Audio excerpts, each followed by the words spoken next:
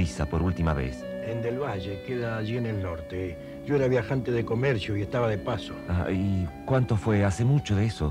Van a ser seis años. ¿Y qué hacía María Luisa en Del Valle? Estaba de sirvienta en una casa del pueblo. La encontré casualmente, no me reconoció.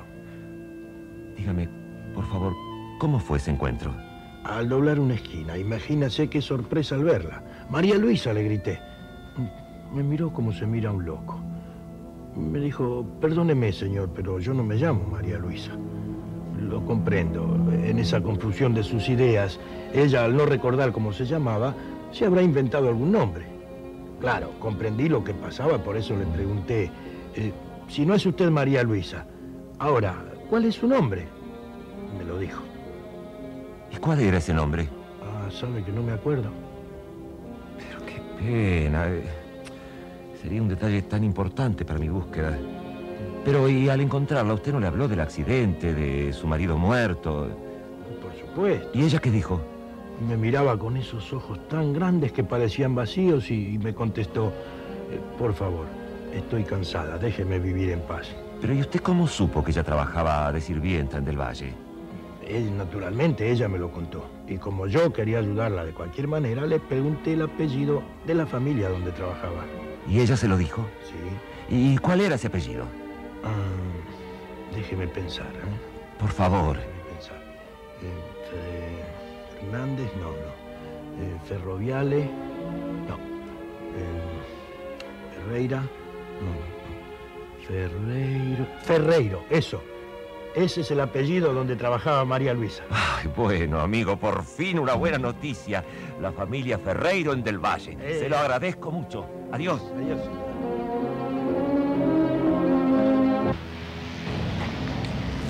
Gracias, Rogelio. Hola, Bonzo. ¿Cómo estás?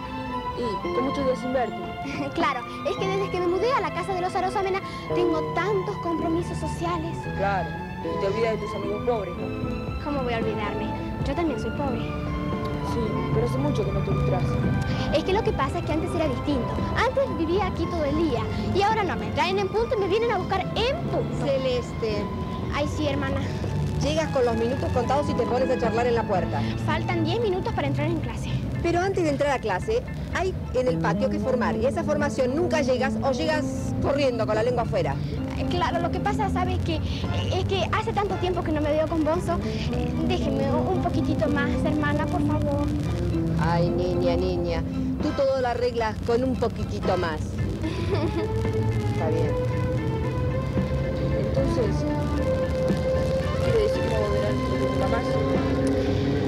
conseguiré muchos, muchos clientes. Por ejemplo, el padre Daniel, que tiene unas botas lindísimas. Hola, Celeste. Hola. ¿Te acuerdas de mí, no? Ah, sí, el verdulero. Bueno, no exactamente. El dueño del supermercado. Ah, claro. La última campana. Me voy, me tengo que ir volando. Hasta luego, Bonzo. Eh, ¿Qué favor? Eh, mira, cuando entres y la ves a la señora Laura, le decís que la estoy esperando. Bueno, pero con una condición. ¿Cuál? Que se haga lustrar por Bonzo. Bueno, si se trata de eso, nada más. Hasta luego.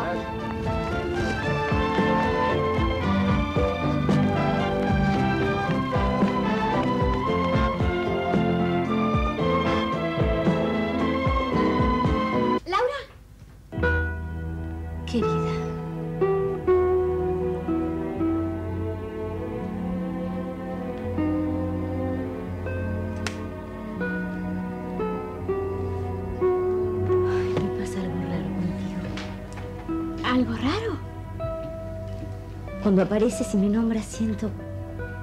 Siento como un relámpago en el corazón. Claro, la sorpresa. No, querida. No es la sorpresa. Entonces, ¿qué es? No sé. No sé, quisiera saberlo. Ay, Celeste, Celeste. Dime una cosa. ¿Por qué has tomado esa costumbre? ¿Qué costumbre?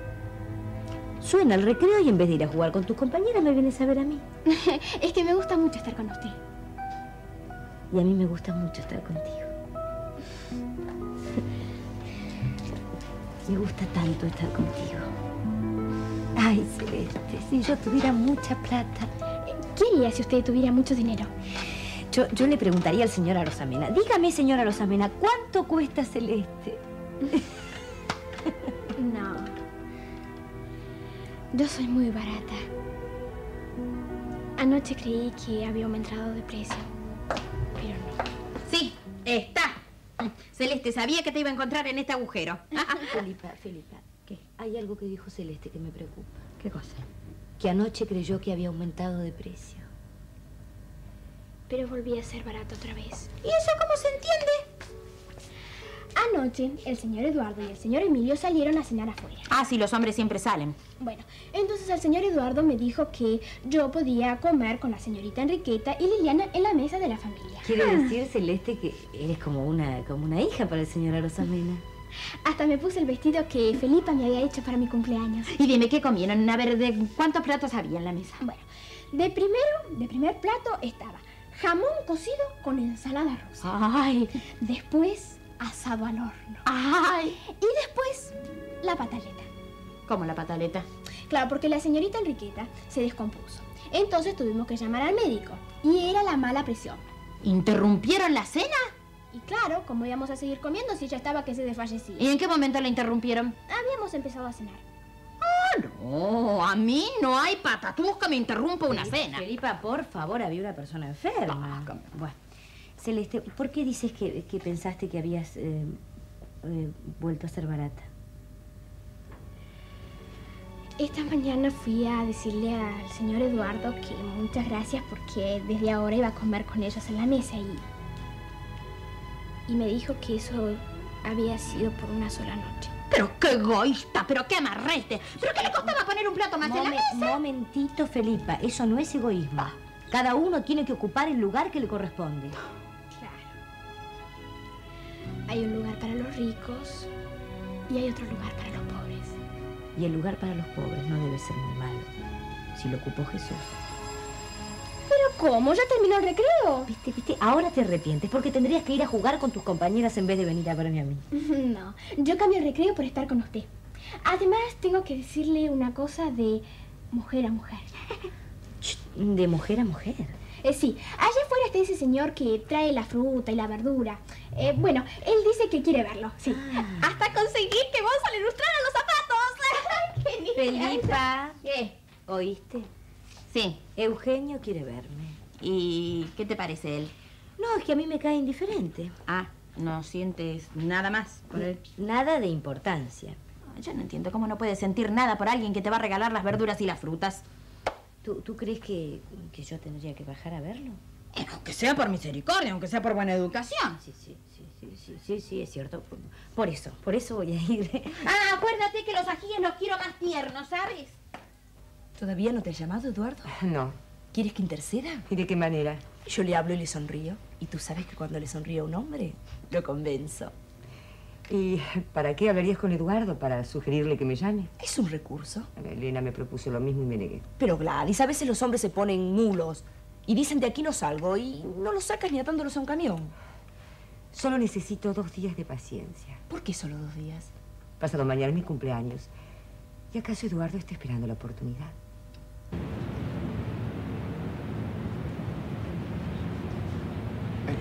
Dale, apúrate, dale. Dale, prima. Ya está. Toma. Quédate con el vuelto. Gracias.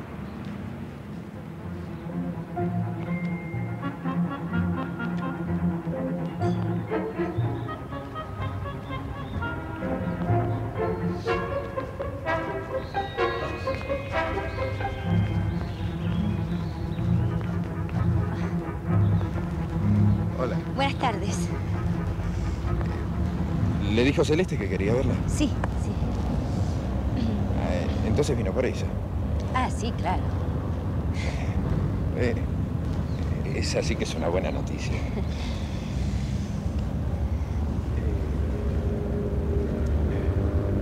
Lindo día, ¿no? Sí, lindo. Un poquito fresco está, ¿no? Anoche parecía que iba a llover, pero Sí, cierto, estaba, estaba tronando, pero después no lindo, no llovió. Sí. ¿Usted los oyó los trenes? Ay, sí, no podía dormir. En cambio, yo duermo igual, con truenos o sin truenos. Apoyo la cabeza en la almohada y no me despiertan con un cañonazo.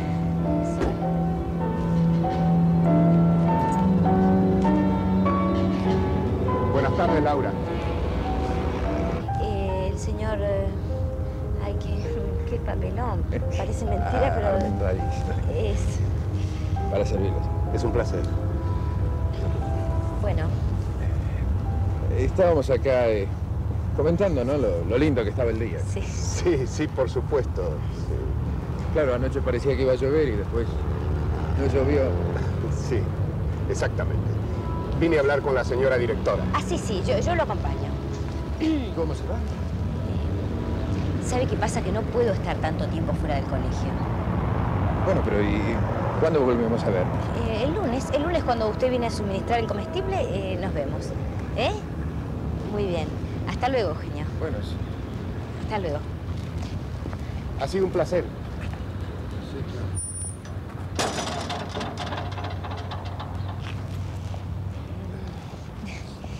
¿Le puedo contar un secreto? ¿Secreto? Sí. La señora directora no está, pero va a llegar. Pero usted dijo que me llevaría hasta ella. Era un pretexto. ¿Para qué? ¿Para interrumpir su charla con este hombre?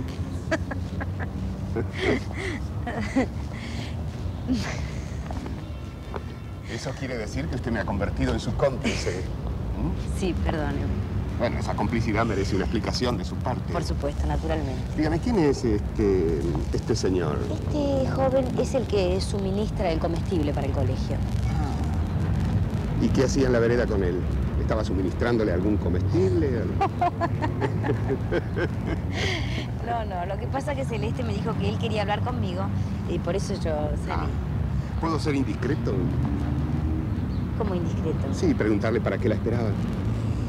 Bueno, yo no sé muy bien para qué, pero eh, creo que para decirme que el día estaba muy lindo, un poco fresco, que anoche tronaba, pero por suerte no llovió. Caramba, que... no, no parece un hombre de una conversación muy variada. Ah, no, para nada. Sabe que su tema predilecto es el tiempo. ¿Y para qué habla con él entonces? Bueno, eh, yo no es que hable con él, pero él insiste, insiste que quiere hablar conmigo y, y a mí me dio no sé qué, no, no, no bajar. Dígame, perdón, Señor. ¿es, es un amigo íntimo? Amigo, eh, no, no, no, no, ya le dije, es el señor que viene a suministrar el comestible para el colegio, que viene todos los lunes y ese es mi trato hoy no con es él. lunes. Ah, no, no es lunes hoy. No, no. Y eso quiere decir una cosa, ¿Qué cosa? que vino exclusivamente por usted. ¿No? no sé si es, eh, es un poco pesado. No diga. Sí, Pesado. sí. ¿Pero y por qué? Bueno, no, no sé, a mí a veces me divierte un poco, ¿no? Pero a veces me fastidia también. Dios no lo permita. ¿Por qué dice eso? Que su charla conmigo le produzca lo mismo que su charla con él. Ah, no, eso de ninguna manera. Además, eh, he tenido oportunidad de comprobarlo. El otro ¿Sí? día cuando salimos con Celeste, Yo pasé un momento muy agradable con las dos. ah, yo también. Claro que la presencia de Celeste fue, fue al mismo tiempo una alegría y un freno, ¿no? Ah, ¿por qué un freno? Porque me hubiera gustado hacerle más preguntas. ¿Y qué tipo de preguntas le hubiera gustado Ah, hacer? no lo sé exactamente. No sé cómo ha vivido, cómo vive, cómo piensa vivir. Bueno, yo vivo muy humildemente y sencillamente. Y dando gracias a Dios por estar en esta casa, que para mí es un regalo del cielo. ¿Sabe qué pasa, Laura? Todos tenemos un pasado. Y a mí me gustaría conocer el suyo. ¿Y por qué usted quiere conocer mi pasado? Eh, ¿tiene- ¿Por qué tiene curiosidad? No, por favor, no, no convierta mis buenas intenciones en un chisme. Yo descuento que usted habrá pasado momentos muy difíciles, ¿no? Tantos momentos, sí. Yo también. Bueno, siempre ayuda tener alguien con quien hacerse confidencias, ¿no? Eso ayuda. ¿Le molestaría que tuviéramos esa oportunidad? No, no, no me molestaría así. Dígame, ¿usted puede salir de noche? Eh, sí, claro. Yo trabajo aquí, no, no, no estoy presa. Quiere decir que si yo la invito, usted acepta. Sí, sí, yo acepto. Solamente hay una cosa que, que me frena. ¿Qué? Que mi ropa, señor, es, es muy modesta para salir. No, ¿eso qué importancia tiene? ¿La semana que viene, entonces? Bueno, la semana que viene. Yo le mando un mensaje con Celeste. ¿Le parece bien? Sí, me parece bien. Creo que es lo más adecuado, ¿verdad? Hola. Padre, ¿lo hacía de viaje? Sí, estuve por allí haciendo unos trámites, pero ya he vuelto. Lo cual se nota, por otra parte, ¿no? Perdón, pero es la hora del vaso de leche. Eh, Hasta luego, señor. ¿Se fijó, Eduardo? ¿Mm? Parece que huyera. ¿Acaso tenga un poco de vergüenza? ¿Por qué? La he invitado a salir. ¿La invitó a salir? Sí, una noche de estas. ¿Y por qué? Bueno, porque es una mujer encantadora. Eduardo, ¿puedo hacerle una pregunta? Sí, padre, ¿cuál? ¿Y Gladys? Ah, usted conoce nuestra situación, aunque nos hemos encontrado por casualidad hace un par de noches, seguimos disgustados. Sí, pero si hubiera una... Bueno, un arreglo entre usted y Gladys, ¿qué significaría esta salida con Laura? Padre, muchas veces uno sale con una mujer para pasar un rato inofensivo. Eduardo, Laura es una mujer excelente que ha sufrido mucho. No agregue usted más dolor al que ya tuvo. No pienso enamorarme de ella, simplemente me gusta, eso es todo. Está bien. Está bien. Tengo que ver a Celeste. Hasta luego.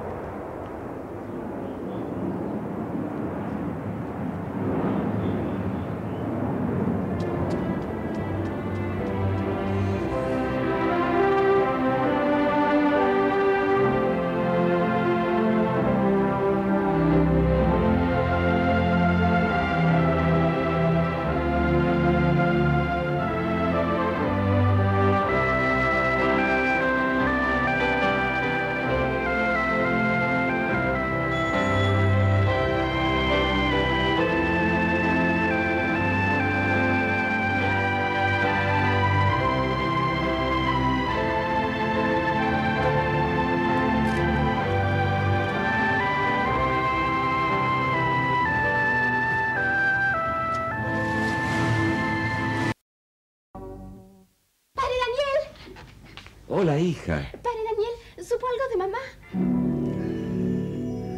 Contésteme, por favor.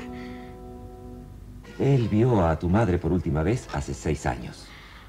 ¿A dónde? En un pueblo que se llama Del Valle. Además me dijo el nombre de tu madre. María Luisa.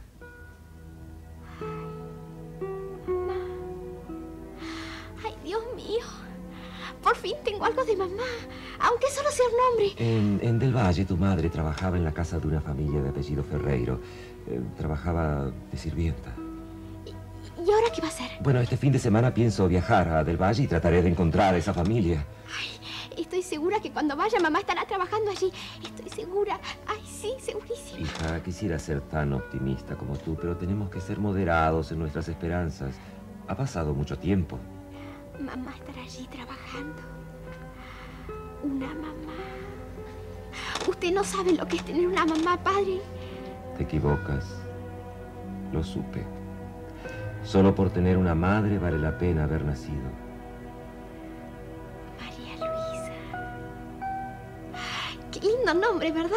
Claro, y mucho más lindo cuando lo pronuncias tú. Pero cuando la tenga pasará una cosa.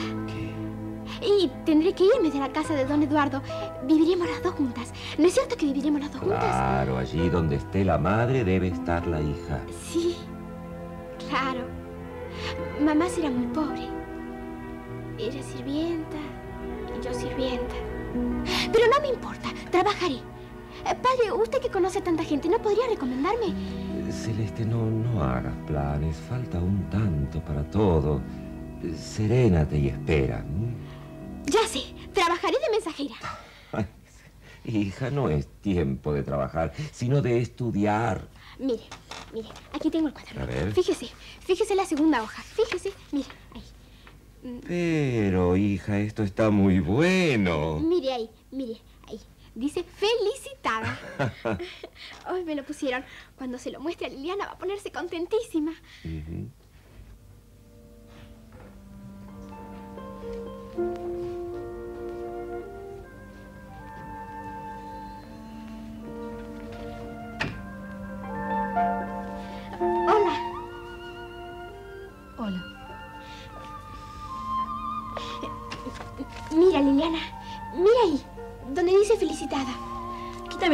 ¿No ves que estoy trabajando?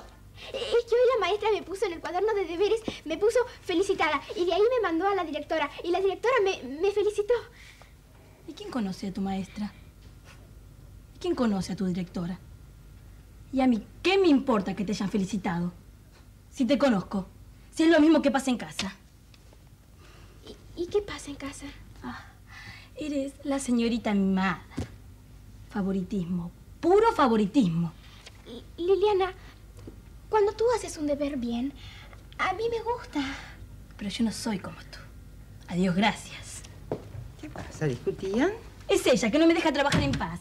Es que, señorita, señorita eh, Enriqueta, mire, yo demostraba a Liliana que hoy me pusieron felicitado en el colegio.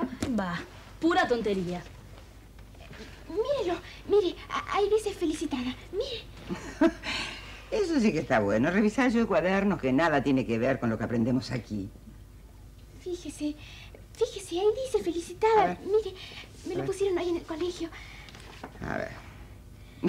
Conozco los procedimientos de tu colegio, ¿eh? Por cualquier deber malamente hecho, abren la boca como tontas. Sí. Toma, está bien. Merecía la felicitación.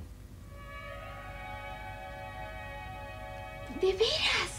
Ay, ay, Dios mío, de veras que merecía.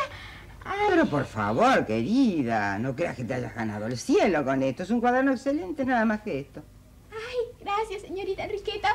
Usted es muy buena, muchas gracias. Se lo voy a mostrar a toda la casa. Ay, ay. ¿Oíste? Siempre es ella la que hace todo bien. Ahora le llevará el cuaderno a tu padre para que se maraville ante el felicitado. Tú nunca pudiste lucirte frente a tu padre con un cuaderno bien hecho. Soy una persona justa y debo reconocer que Celeste actuó de tal manera que le correspondía esa felicitación con toda justicia. ¿Por qué no puedo ser tan linda como ella? ¿Por qué no puedo ser tan inteligente como ella? Ay, Liliana, querida, cada uno es como es. Claro, yo, ella siempre sonríe y tú no sonríes nunca. Yo comprendo que para cualquier persona siempre es mucho más agradable tener ante su vista un rostro alegre y no un rostro melancólico. Cualquier hombre, hasta tu padre. Eh, Señorita. ¿Qué? ¿Cómo podemos hacer para que se vaya de casa? Eso no podemos decidirla nosotros. Eso, se puede, eso tiene que determinarlo tu padre. Solo hay que esperar una cosa. ¿Qué cosa? Que tu padre termine de comprender cómo hace esta chica para quedarse con todo. Hasta con la familia. Señorita, ¿usted por qué lo hizo? ¿Qué cosa? ¿Qué hice? Le elogió el cuaderno. Pero Liliana, eso estaba bien. ¿Y qué dijo tu padre cuando lo supo? Se limitó a tomar nota. ¿Pero cómo, no se alegró? Bueno, él es un poco circunspecto. Bueno, pero algo habrá dicho, Emilio. Sí, sí, sí, me deseó buena suerte. Es lo menos que pudo haber hecho, ¿no? En cambio, mamá no. Mamá estuvo de lo más expresiva. Se alegró mucho, en serio. Eh, Claro que tuvo que, que escuchar mis reservas. ¿Tus reservas? Sí, no. No te noto muy entusiasmado, Emilio. Bueno, seré como papá un poco circunspecto, ¿no? Claro. Bueno, ¿y estuviste, estuviste pensando cómo va a ser nuestro noviazgo? ¿Cómo va a ser en qué sentido? Corto, largo, regular. Ay, Elena, por favor, me faltan tres años para recibirme. Tres años, eso es demasiado tiempo. ¿Cómo demasiado tiempo? Para nosotros tres años no es nada. Ya encontré la solución, Emilio. ¿La solución para qué? Para casarnos cuanto antes. Celeste. Celeste.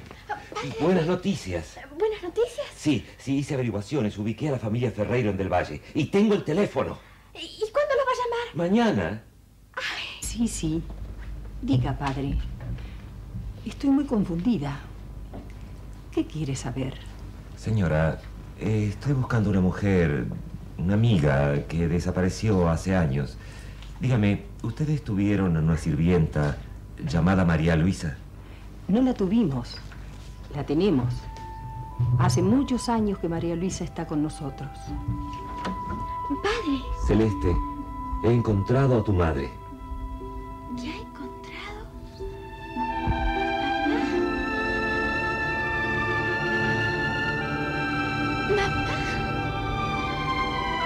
Llegado al final del camino. ¿Y cómo fue? ¿Cómo lo supo? Bueno, te había dicho que tenía el teléfono de la familia Ferreiro del Valle, ¿no? Sí, sí, sí. Bueno, llamé, hablé con la señora. Me dijo que hace muchos años que tienen a su servicio una mujer que se llama María Luisa. ¿Y María Luisa es el nombre de mamá? Eh, claro, y el primo de tu padre me dijo que había visto por última vez a María Luisa en Del Valle hace seis años. Ay, ¿Y usted, usted, padre, cuándo va a ir? ¿Mañana? ¿Y, puede ir con usted? No, hija, hija, no todo va a ser tan fácil como tú crees. ¿eh? Recuerda que tu madre había perdido la memoria. Hablaré con ella, trataré de devolverle la vida que ha perdido.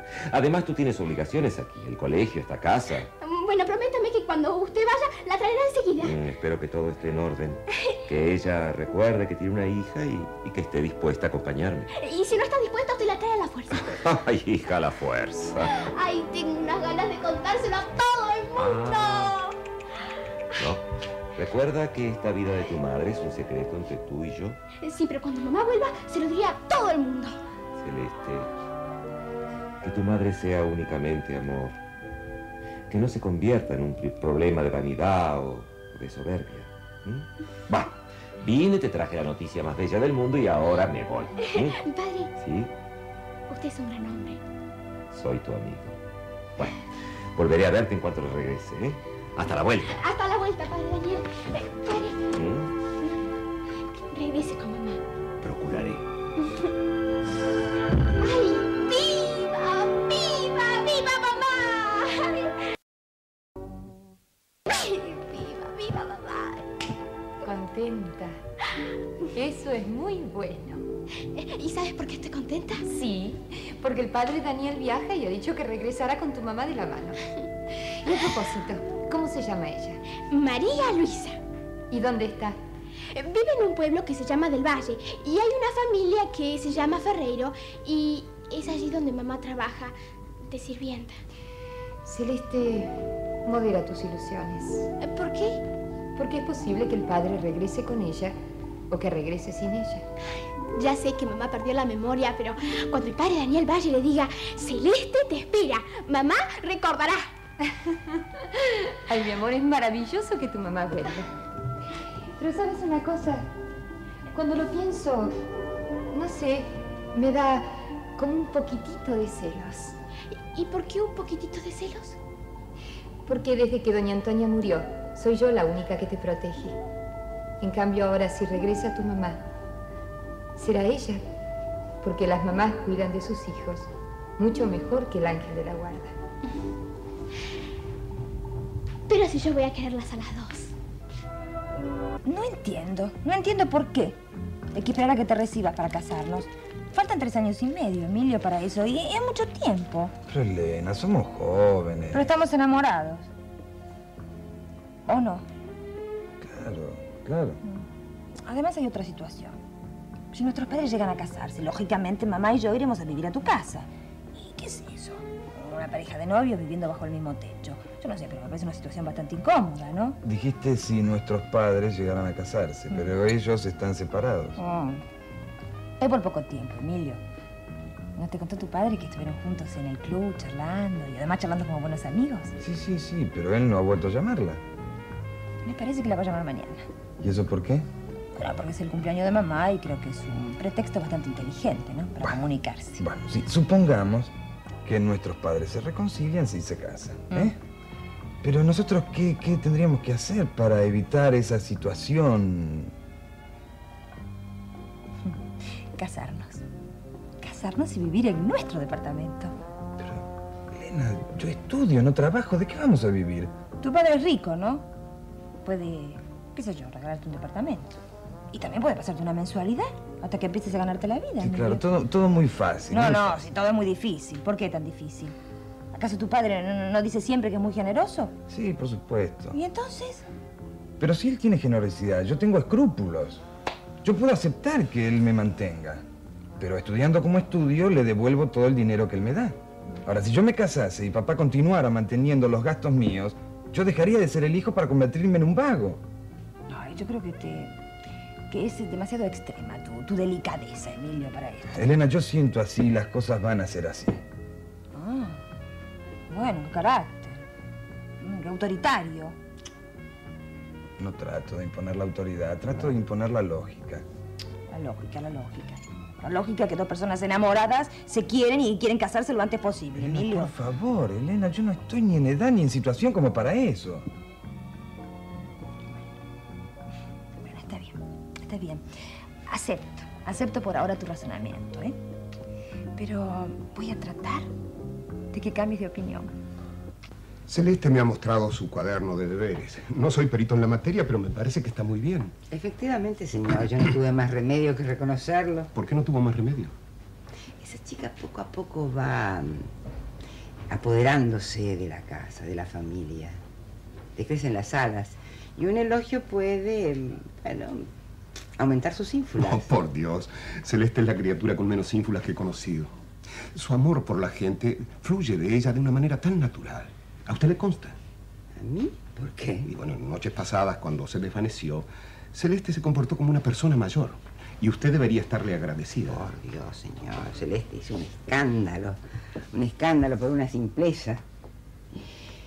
Y todos terminaron dándole una importancia que no tuvo. El doctor Anselmi no opina lo mismo. Dijo que lo suyo había sido verdaderamente serio. Los doctores no hacen más que agravar los hechos, señor. Es una manera de justificar lo que cobran. Sí, pero él no quiso cobrar. Solo porque se trataba de una recomendada de Celeste. Liliana, ¿puedes venir un momento, por favor? Sí, papá. Has vuelto a tocar en mi escritorio. Vine a buscar bandas elásticas para sujetar unos papeles. Sabes que eso no me gusta. En mi escritorio toco únicamente yo. ¿Entendido? Sí, papá. Eh, señor, yo también he visto a Celeste merodeando por estos lugares. Por favor, Enriqueta, ocúpese de que eso no ocurra. Sí, señor. Permiso. Sabes muy bien que no me gusta. Te hemos dicho muchas veces. Liliana no tiene que tocar acá. Irma. Ayer has cometido otra vez una gran falta de educación. Anoche llamó a la señorita Elena para preguntar por el señor Emilio, que no estaba. Y le contestaste de mala manera. Le habrá parecido, señorita. No me ha parecido, esa es la verdad, yo no miento. No seas insolente. Desde hoy en adelante tendrás que atenderla de una manera muy amable, como si fuese una persona más de la familia. Ella no es de la familia. Pero lo será. ¿O no sabes que desde hace unos días es la novia del señor Emilio? Eso es mentira. Es una otra insolencia. Yo no miento. Si el señor Eduardo y la señora Gladys ya no se tratan. ¿Y qué tiene que ver una cosa con la otra? El señor Eduardo y la señora Gladys hacen su vida. El señor Emilio y la señorita Elena viven a su manera. ¿Qué haces ahí parada? ¿Espiabas, como de costumbre, las conversaciones de los otros? No, es que iba a llevar los deberes, a hacer los deberes a la casa. ¿Y ¿Tú crees que voy a, a creer en tus excusas?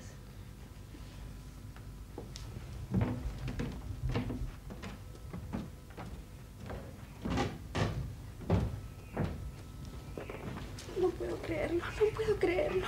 ¿Pero por qué tienes esa cara? Es que la señorita Enriqueta acaba de decirme una cosa que, que me parece increíble. ¿Y qué cosa? Dice que el señor Emilio y que la señorita Elena se pusieron de novios. No, eso no puede ser, no puede ser. Si eso fuera cierto, el señor Emilio no tiene cara de quererla. Pero es que la señorita Enriqueta sabe tantas cosas de la casa. A lo mejor es cierto. Bueno, mira, vamos, vamos. Tú quédate tranquila, llévame la cartera, que yo voy a hablar con el señor Eduardo. Ella siempre es la misma. Encuentra la manera de, de hacerle daño a una. Vamos.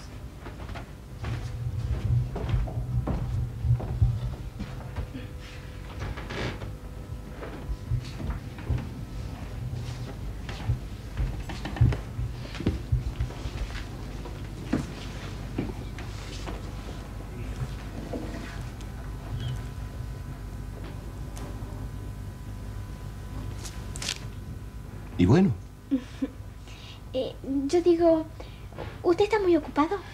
yo siempre estoy ocupado. ¿Qué pasa? Nada, es que, es que quería preguntarle una cosa que lo va a enojar. Si sabes que puedo enojarme, entonces no hagas preguntas.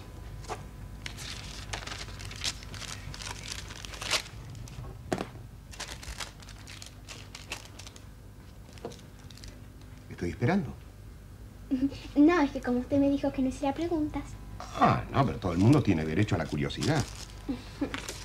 Eh, yo no voy a hablar ni de usted ni de la señora Gladys. Ah, sí, ni yo te lo permitiría.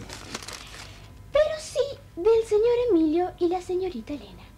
Y a ver, ¿qué, qué, qué quieres saber de ellos? Sí, ¿se han puesto de novios? Ah, ¿y a qué se debe esta indiscreción? Bueno, que a una le gusta saber las novedades de la familia. Muy bien, no hay motivo para ocultarlo, sí. El señor Emilio y la señorita Elena están de novios. ¿Qué me dice? ¿Por qué pones esa cara? ¿Yo? Y sí, te doy la noticia y parece que hubieras mordido un limón. No, es que me parece que el señor Emilio es demasiado joven para, para estar de novio. Bueno, me voy. Espera, Celeste. Eh, Sí, señor. Dime, ¿en el colegio tú ves a la señora Laura? Sí, señor. ¿Podrías hacerme un favor, entregarle esta carta? ¿Y qué dice? Eso nos concierne únicamente a la señora Laura y a mí. Mm, Bueno, sí, se la doy. Como ella se va a poner tan contenta. ¿Y por qué lo crees así? Bueno, porque el otro día cuando salimos las tres juntos, ella estaba muy contenta. Sí, sí, claro. Ese día estuvo muy alegre. No vayas a olvidarte. No, yo no olvido nada que ponga contenta a la señora Laura. Eh, una cosa, Celeste, por favor. eh, de esto ni una palabra a nadie. ¿M? No. En- mm, ¿Quiere contestación? Cuando la señora Laura lea la carta, procederá en consecuencia. Bueno, hasta luego y gracias. Hasta luego.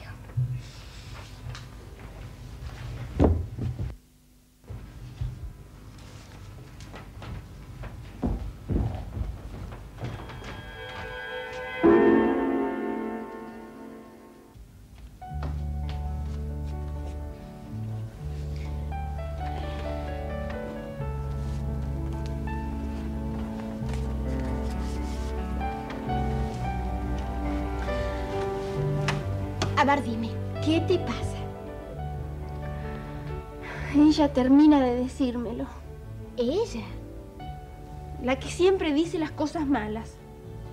La señorita Enriqueta. Pero tú quedaste en averiguar. ¿Qué te dijo el señor Eduardo? ¿Era verdad? ¿Era mentira? Y bueno, parece que se han puesto de novios. Emilio y... ¿Y ella? Bueno, pero por ahora. ¿Cómo por ahora? Claro, gracias a mi gran experiencia de la vida, yo sé una cosa. ¿Una cosa? ¿Qué cosa? Hay muchos novios que se pelean. Y hay muchos novios que se casan. Sí, pero yo tengo una manera de que se peleen. ¿Una manera? ¿Qué manera? Bueno, yo te voy a explicar que cuando Es hora de trabajar, no de venir a ver cómo duerme la muñeca. Sí, señorita Enriqueta. ¿Qué pasa? ¿Cómo que pasa? La cama de la señorita Liliana no está tendida. Uy, sí, señorita.